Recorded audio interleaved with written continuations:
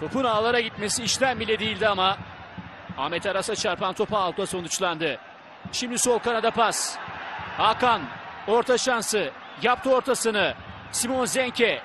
Simon Zenke ortasını yaptı. Kafa ve top ağlara gidiyor gol. Beraberlik golü geliyor 75. dakika. İbrahim beraberlik golünü kaydediyor. İkinci yarıda oyuna girmişti. İbrahim 75. dakikada Şanlıurfa Spor beraberliği yakalıyor. Maçın ilk yarısında